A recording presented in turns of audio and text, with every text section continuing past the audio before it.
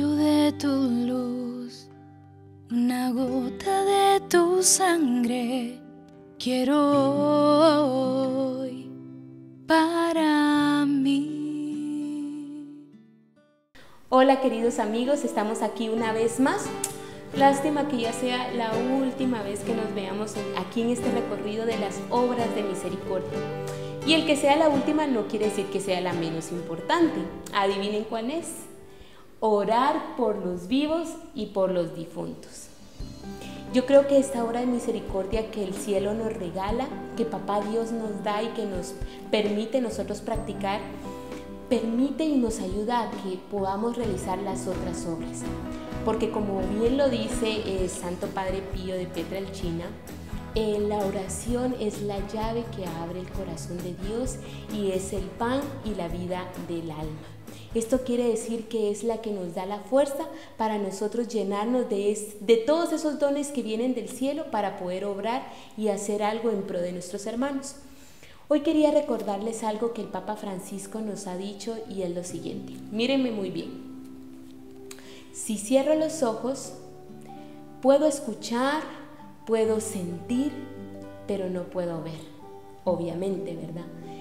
Y cuando yo abro los ojos realmente puedo ver a mi alrededor y es lo que el Papa Francisco nos dice ahorita, ver, o sea, detenernos a ver qué es lo que está sucediendo en nuestra familia, en nuestra sociedad, en nuestro trabajo, en la universidad, en el colegio, en tantas partes y detenernos, hacer una pausa.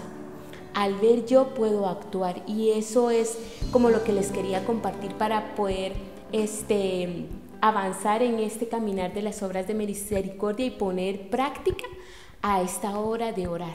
Porque muchos pueden decir, no, si yo voy a misa, yo oro, hago el Santo Rosario, y sí, yo me recuerdo de las peticiones de mi abuelita, de la amiga que me está pidiendo oración, o de los problemas que tienen tales y, y tales y cuales hermanos o amigos, pero ¿qué pasa con las personas que no están tan cerca de mí, que no están tan cercanas? Por eso es tan importante no cerrar los ojos a nuestro alrededor. Cada uno de nosotros ocupamos un territorio muy especial en nuestros países y cada uno de nosotros estamos gobernados por diferentes personas. Pero ponte a pensar qué tanto has orado por ese gobernante, por ese alcalde, por esas personas que toman decisiones en tu país. Importante. Tenemos que tomarnos un tiempecito para también hacer súplica y oraciones y el Señor nos lo está pidiendo. Algo que nunca se me olvida es que un predicador siempre decía que uno tiene el pastor o el presidente o hasta la misma directora de colegio que uno merece y merece por las oraciones. Yo estoy seguro que si cada uno de nosotros nos proponemos orar por este gobernante, por el que rige las leyes de nuestro, de nuestro país, por el que toma decisiones importantes, las cosas cambiarán.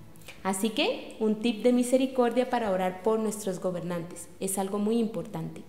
Y el otro es orar por los difuntos, pero uno dice, bueno, sí, yo oro por mi abuelita que murió, o yo oro pues por el vecino, voy a la novena y se me olvida. Chévere que tengas, o no sé, o sea, lindo anotar, digamos, el aniversario de tu abuelo, de tu papá o cuando cumplían años y poder recordarlo en ese momento, ir a la Santa Misa, orar por ellos.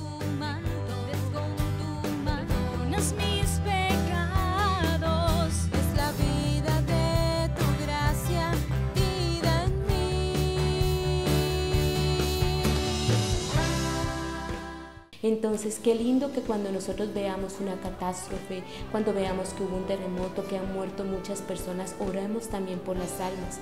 No solo por los que vemos o por los que están a nuestro lado, sino por esas personas que de pronto no tienen quien les auxilie.